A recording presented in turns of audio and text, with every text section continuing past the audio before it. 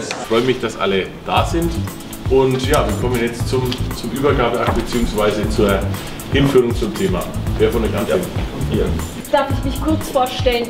Ich bin die Buche Emma äh, und komme aus dem Steigerwald. Äh, Herr Söder, mich treibt die Sorge um den Steigerwald zu Ihnen hierher nach München. Wir alten Buchenwälder haben ja früher fast das ganze Land bedeckt. Aber heute dürfen wir gerade mal auf 0,7 Prozent der Waldfläche in Bayern wachsen.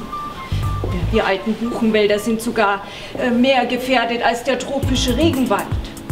So Bäume, so alte Bäume wie ich jetzt bin, ja, wir wachsen nur noch auf wenigen winzigen Reservaten.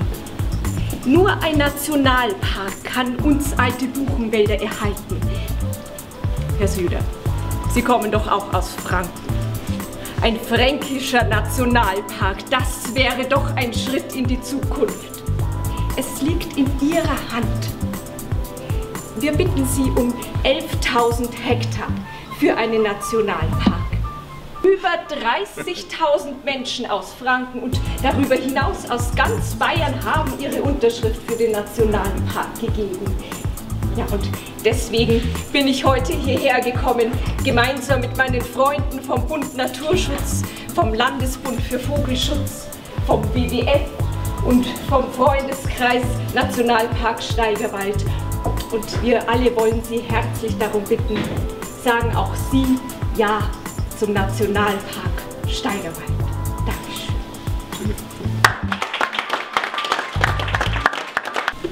Es ist in der Tat ein besonderer Tag, äh, auch für uns äh, drei Verbände gemeinsam mit dem Freundeskreis äh, Nationalpark Ihnen hier in Ihrem Haus äh, über 31.000 Unterschriften übergeben zu können. Davon stammen im Übrigen über 65 Prozent aus Franken und wiederum der größte Teil aus der betroffenen Nationalpark Region äh, von Frauen und Männern, die sich einen Nationalpark im Herzen Frankens wünschen, um unser nationales Naturerbe zu sichern. Herr Staatsminister, wir haben die Unterschriften zusammengesammelt. Wir sind froh, dass wir Ihnen so viele übergeben können, denn wir meinen, äh, ein Nationalpark im Steigerwald ist überfällig. Und da sind wir eben für diese Buchenwaldtypen stehen wir in einer besonderen Verantwortung und außerdem, sie sind halt auch traumhaft schön, diese Wälder, und sie sind nicht weit weg von drei Ballungszentren. Also eine bessere Rahmenbedingungen kann man sich nicht vorstellen. Denn ich kann mir schon vorstellen, dass es ähm, Menschen gibt auf der Erde, die einfach ein großes Interesse daran haben, dass ein Bausteinchen im Netzwerk weltweit, im Netzwerk der, der großen wichtigen Schutzgebiete hinzukommt.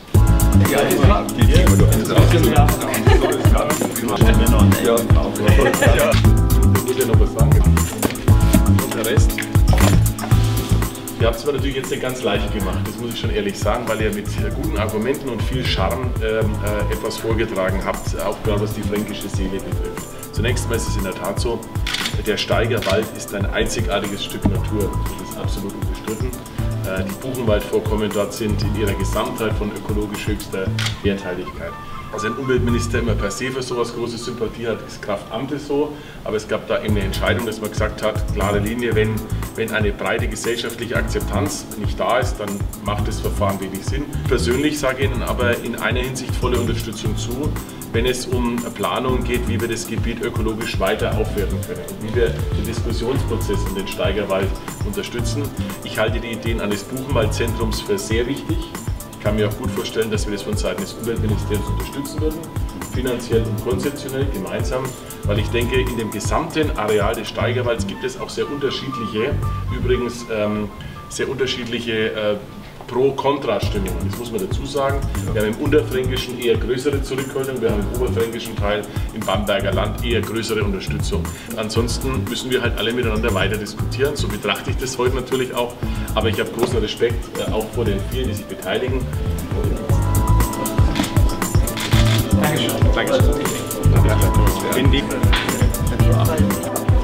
Jemand auf? Meine Damen und Herren.